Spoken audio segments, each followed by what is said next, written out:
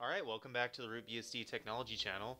Today I'm going to talk about the subject of web browsers in OpenBSD. Now, uh, complementary NeoFetch running OpenBSD Current 7.0 and I am still using uh, generic I'm using generic kernel uh, 206.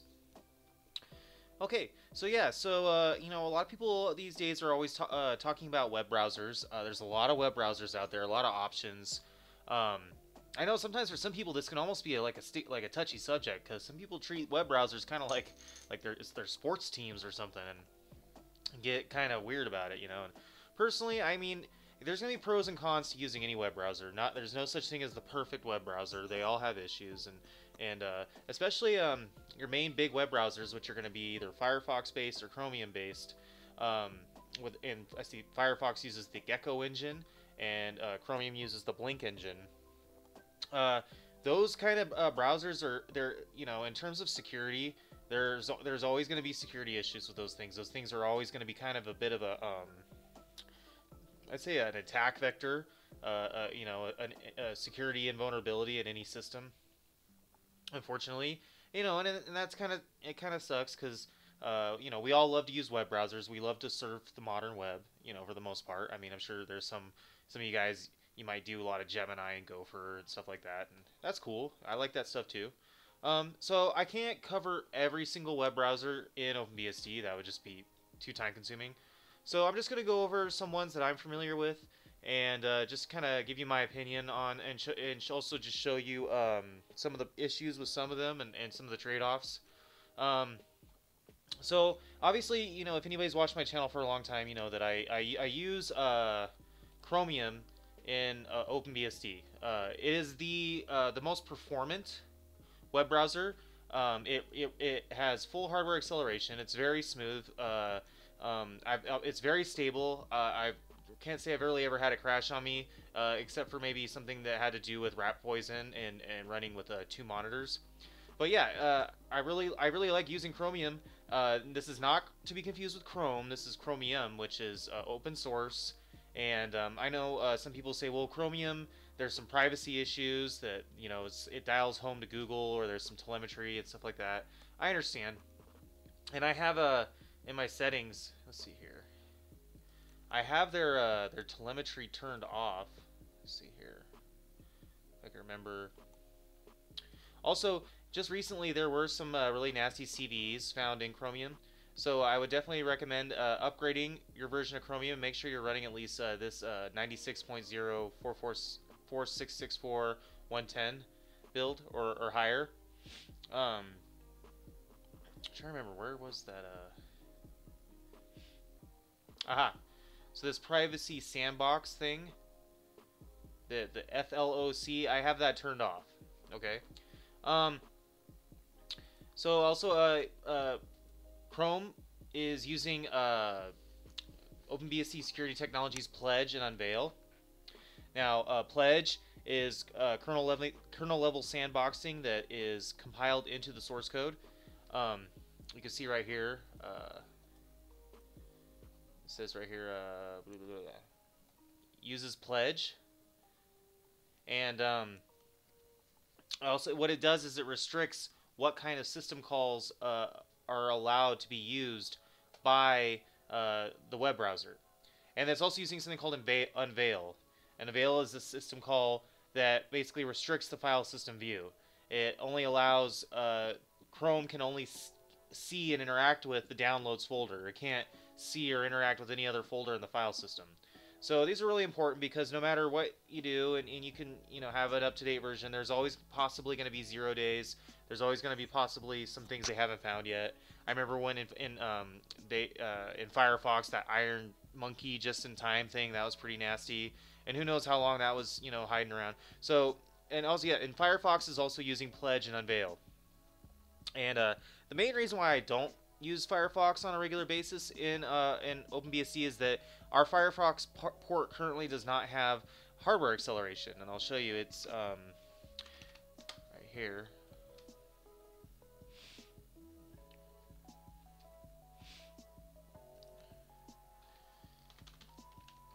Like if I go to YouTube, there's just a lot of screen tearing. Basically, it's it's using the CPU to render.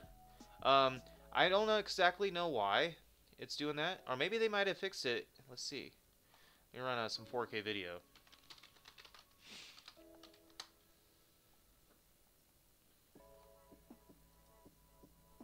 We should file a claim. Oh, they fixed it. Did they? Is it?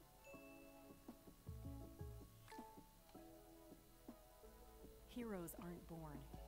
Heroes are just those who step up when Really it's pause needed this. most. Train to be a healthcare hero.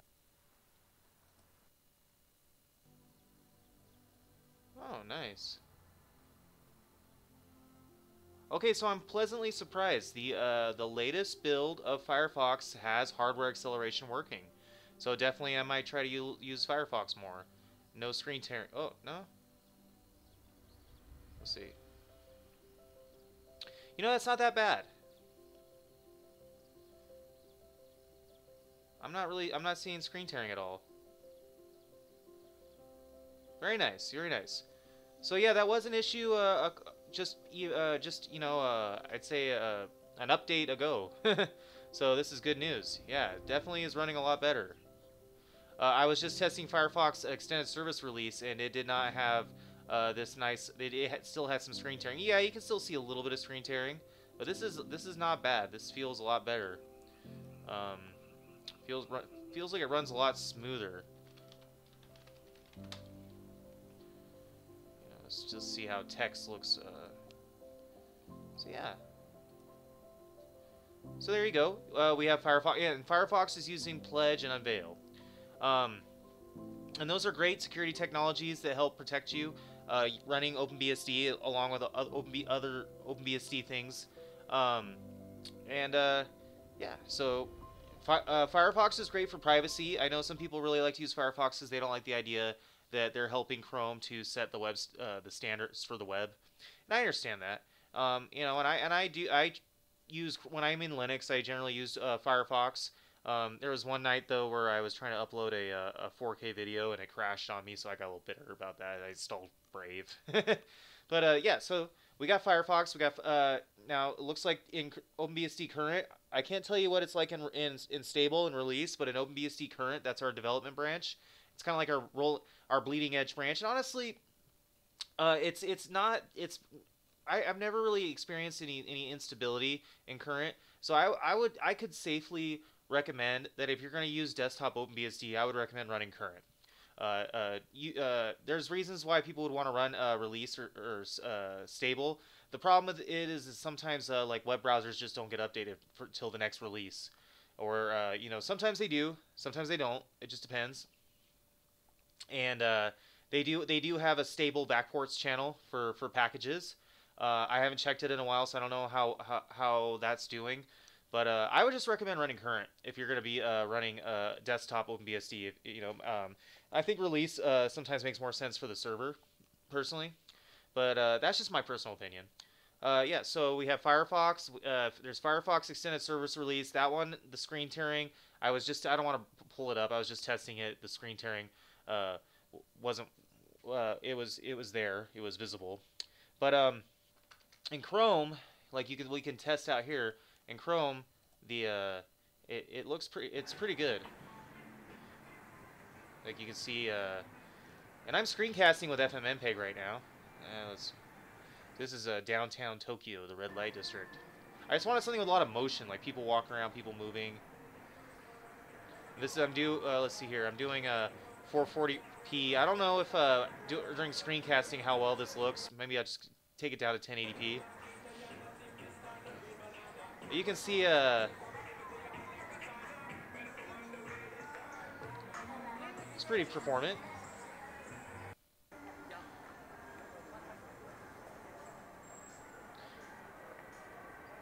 I think this is going a little slower to, to my eyes because of uh, the screencasting. Not sure. We could try uh, that same video, 4K Costa Rica. Try it, see how this looks.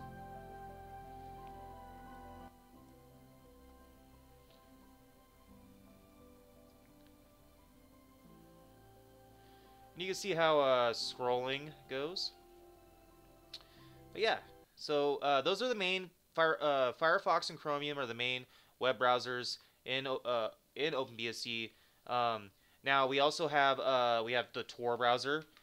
Now let me see here uh, how well the Tor browser is doing. I'm gonna totally max out my memory right now. I got 12 gigabytes though, so I should be good, right? We'll see. Open up like eight web browsers. All right, so uh, what we're gonna do is we're gonna. I, I some I sometimes have issues accessing YouTube's. Yeah, see when you try to access YouTube on the Tor browser, it, it usually complains. What I'll do is I'll access um, an Invidious instance. I'll just use a YouTube or it's yewtu.be.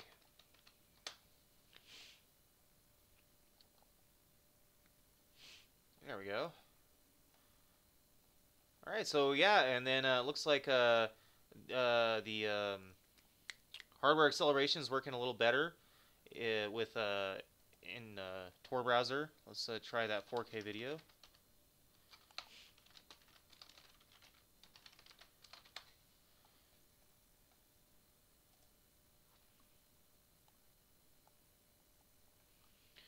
So it doesn't work. What you have to do is you have to embed from YouTube. Alright, so YouTube just doesn't want to uh, let me watch videos. uh, embed link. No. Well, anyways, we have the Tor browser. Uh, you know, probably not working very well for uh, watching video. None of these want to work right now.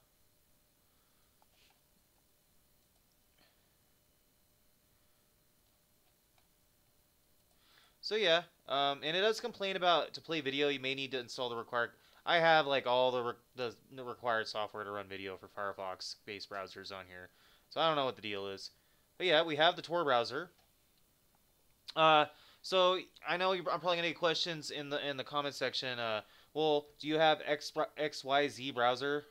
And uh, please, please don't do that. Just uh, you know, I if you want to ask, figure out if you want to know what web browsers we have available, just uh, go to openports.ca or I'm sorry, se. Uh, go to openports.pl. Those are the two uh, like uh, ports websites that we have to look at uh, and browse our ports. You can also just look on the CVS source tree or the GitHub source tree. Uh, you just look in the ports section. Um, and all all the ports are not. It's not about um, what programs you can compile. All the the programs that are in ports are generally there's a binary available in in, uh, in with package add with a few exceptions. But um, yeah, you just go look at the uh, www www and ports, and it'll show you uh, all all the available web browsers.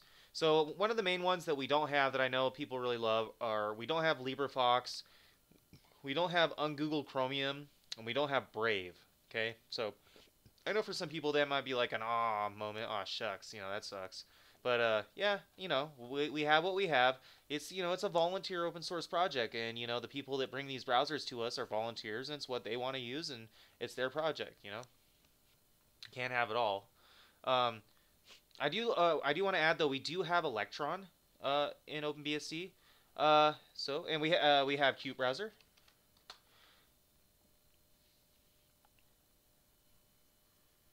Right here. There we go and qutebrowser is version 2.3.1. Uh, um, now, the only thing that is kind of bad about using qutebrowser right now is our, um, let's see right here.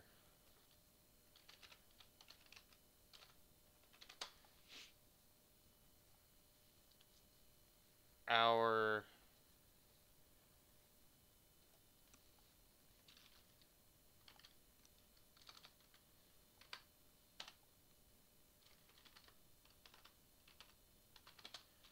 I need to get in the qutebrowser using mode here.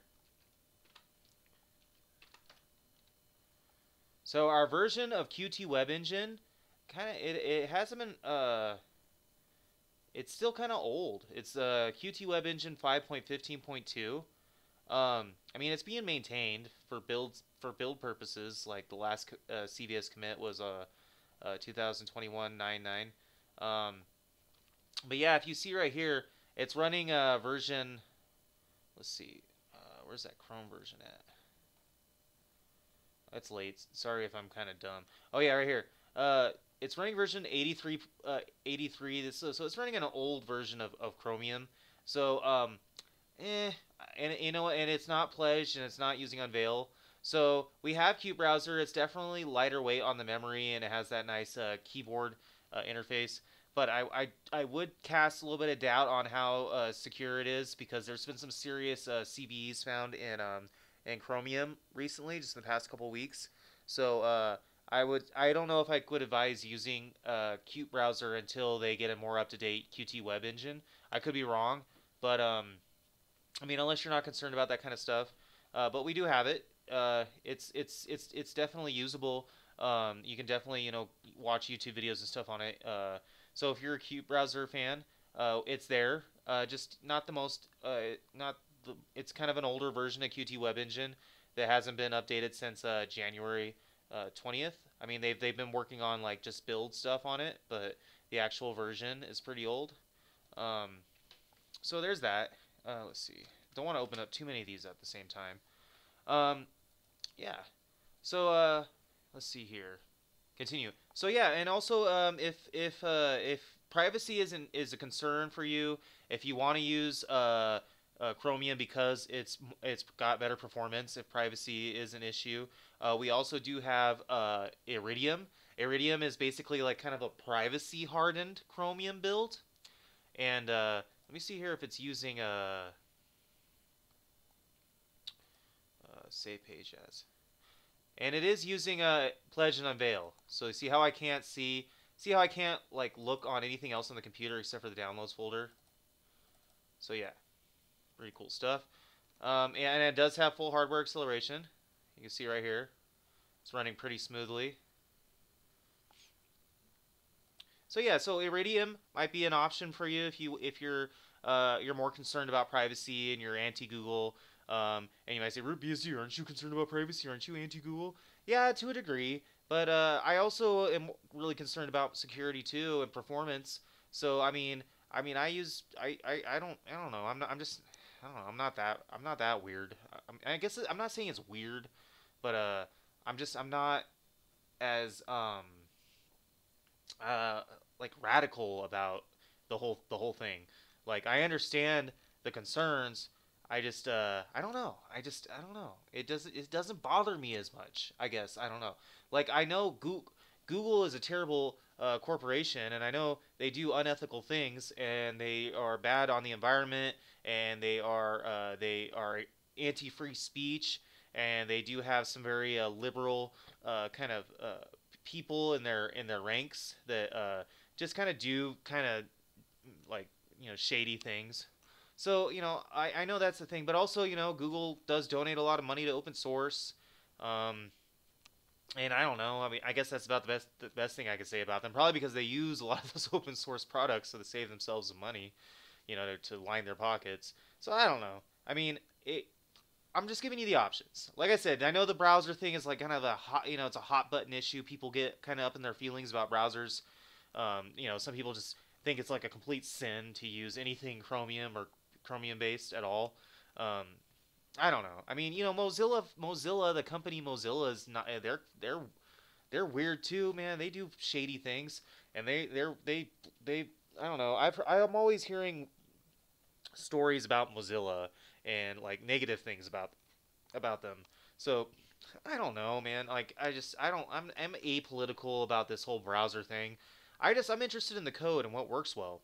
And also I I don't I don't want to be hacked. And uh, I just, you know, if you're going to use a web browser, I want to use like the best option. Um, so I would say, uh, I, me personally, I've, I've kind of just settled in on, on using the, the main Chromium build. I might actually try, uh, you know, you know, switching over to Iridium in the future. I'm not sure. I'm not any big any big rush. You know. See, the cool thing is also what I want to talk about is um is the the, the security hardening is not only just uh is uh, uh pledge and unveil an element to it too, but you can also disable WXRX in the in the file system, and you can disable JITs just in times uh, in your web browser. So I'm just going to show you how to do it in uh, in Chromium. If you want to know how to do it in Firefox, just you know use use a web use a, a search engine, guys. Don't make me use search engines for you. you can figure it out. You're you're big boys and big girls. I mean, and I'm, I'm I'm not trying to be rude when I when I say that, but I just some people just kind of like I just I'm I'm I just scratch my head. I'm just like, do you not know how to use Google or DuckDuckGo? Why are you you're asking me a question that can be I'm I'm I'm gonna I'm literally gonna use a search engine and just give you like the first two results is what I'm gonna do. so, but I'll show you I'll show you how I do this with with Chromium. So let me get back to a terminal here. Uh, so first off, uh, what you can do is you can um, you can edit your uh, FS tab. Be very very careful doing this. This I don't try this at home, kids. if you're gonna do this, be very careful to not make a mistake, or your system won't boot, and you'll have to boot uh, in from the RAM disk and fix it. Um, so what you can do, this WX So now, now for a program to use WXRX, that just means that uh, memory is never both writable and executable at the same time. It's one or the other. Uh, to and, and uh, to uh, for a program to use WXRX, uh, it needs to be in a WX allowed file system, and it needs to use uh, this this thing right here. where is it? Use WX needed in the make file. So this WX needed flag needs to be a it's a compiler flag. So both of those things need to be uh, set. Uh, what you can do though is now this it used to it used to be if you were to remove this from user local that it would break uh, Chromium and Firefox. Now I haven't tested this with Firefox recently. I'm pretty sure Firefox will work too, but I know for a fact that Chromium will work if you remove this right here. You just remove it out and uh, that is a way to, to harden the system a little bit more. Then you're totally, uh, you know, there's no WX or uh, X uh, being allowed in the system. Uh, the only uh, the only thing is it does break some programs like uh, Mono doesn't work. So if you want to run fnaify and run some of those Steam games, it, they won't run when WX allowed is disabled when it's removed from the file system tab. And I know that that GameCube emulator, Dolphin, doesn't work when I when I do that. So a couple programs might not work, but I know it doesn't affect uh, it doesn't affect Chromium or uh, it probably wouldn't affect Iridium. I'm not sure how it would affect uh, Firefox. You'll have to find out. But you know, um, also so also what I do is uh, let's see here. Yeah. In my uh, storefez config, so when I uh, when I execute Chrome, I execute this uh, dash dash js dash flags jitless to disable JIT uh, just in time. And uh, for the most part, everything works fine. The the Chrome I was showing you has uh, just in time disabled, and you can see that the performance is just is, is totally fine. The only thing I noticed that it affects is uh, browser games, games that you can play in the browser. Don't or some of them run kind of slow, like Celeste ran really slow. Um, and uh, I think that's about it. I don't, I don't, I really haven't encountered a site that just flat out just doesn't work right because JIT's uh, disabled. I mean, maybe there might be a couple, but uh, for the most part, I've never had, I've never really had an issue with it. Let's see here. Yeah, so that's something that you could do. You can um, uh, remove wxallowed out of the uh, out of the etc. FS file system tab, and you can disable JITs and uh, that with Pledge and Unveil, and you got a really secure uh, a secure uh, uh method of browsing. Now, uh, some people, you know, might ask, wonder, well, what's more what's more secure? Is it uh, Firefox or Chromium? And I always refer people to this answer that was given by Theo de Raadt. And basically, uh, to sum it up, you can read this article. I'll put a link to this article in the description. Basically, to sum it up, he said that uh, Chromium was one of the first machines on our systems that had privilege separation. Uh, privilege separation was designed uh, from the beginning uh, to into Chromium. So that's something to think about. That Firefox it was kind of pasted in later on, and uh, kind of like uh, let's see, what does he say here? He says, from where I stand, I think it fails to be privsep because the various process initializations still need to be way too much, and the tasks aren't being done in the right process. I think Firefox is still only two process classes where uh, Chrome is six or seven.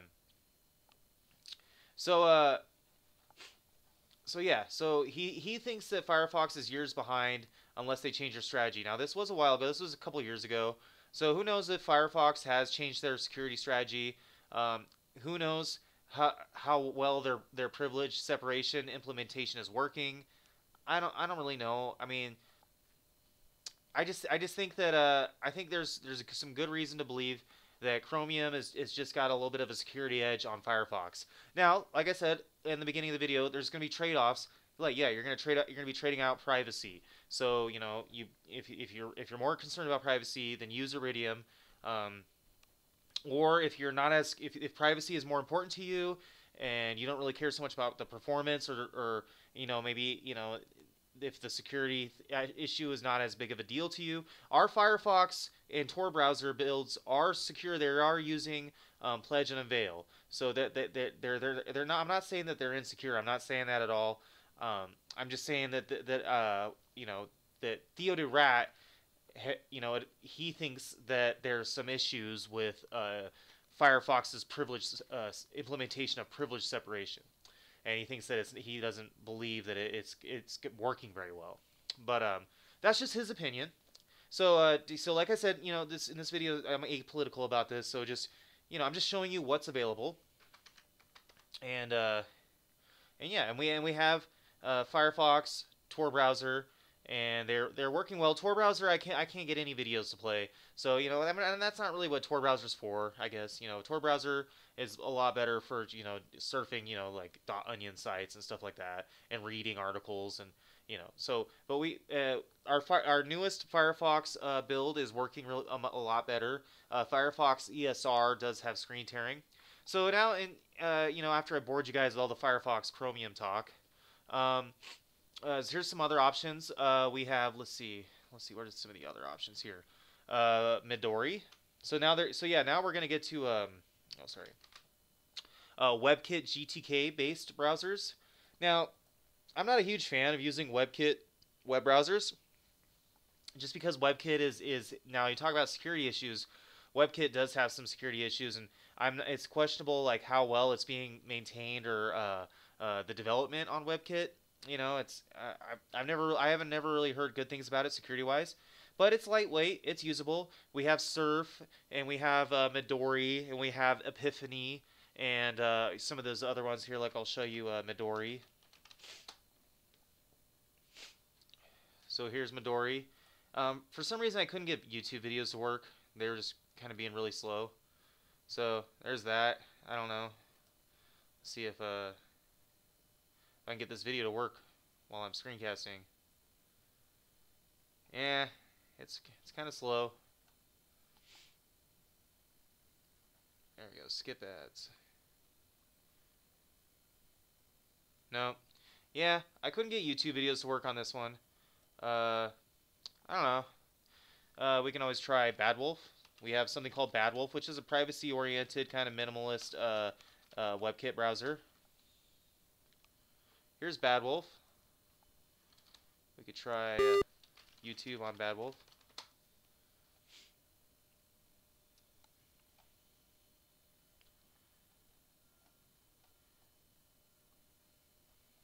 Yeah, I don't know. See, this is this is uh yeah, this is why I don't I don't really use WebKit-based browsers in OpenBSD. Um, so yeah, I, I, oh, that's why. I'm sorry. I needed to enable uh, JavaScript, so let's uh, restart it. Or am I, or did I turn off JavaScript?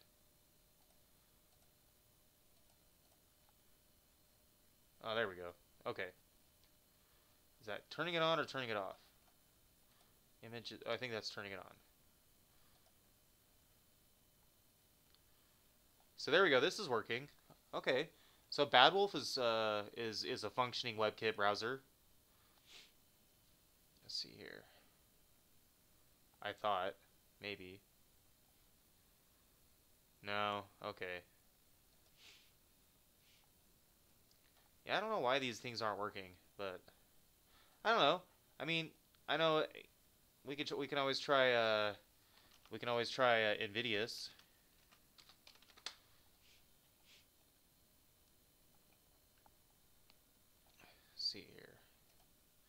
Mental outlaw here.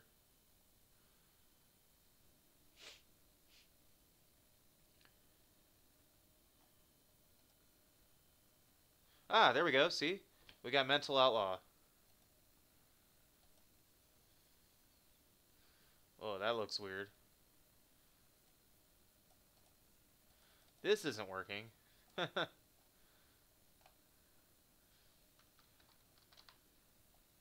Alright.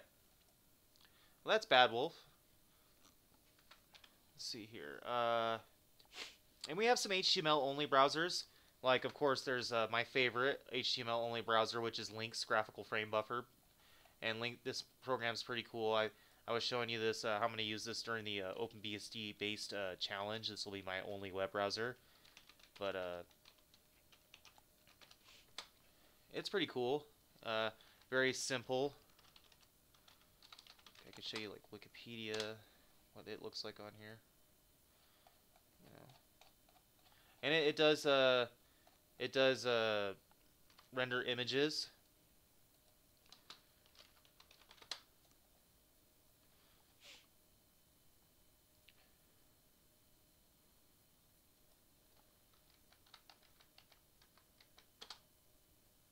There we go. So you can see how, how it renders images like that. Pr pretty good program. And the reason I like it is one, it's still it's still developed. It's still uh, actively developed. Um, most other uh, like terminal web browsers, like here, if we go to um, like links,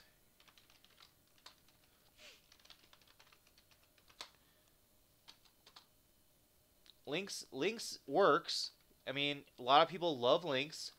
I just, you know, when I was looking uh, looking it up online here, see if I can do a links GitHub. It just seems like nobody's really touched it in years. It's just it's old. uh, I mean, unless I could be wrong. Uh, Lynx browser. You want the links browser.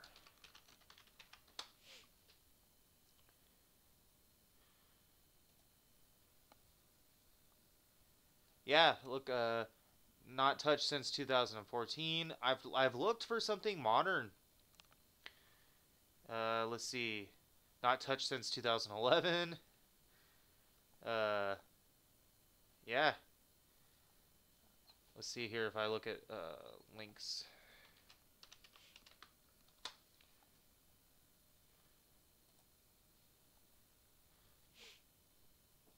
Oh, this this website doesn't tell you. Lynx. There it is.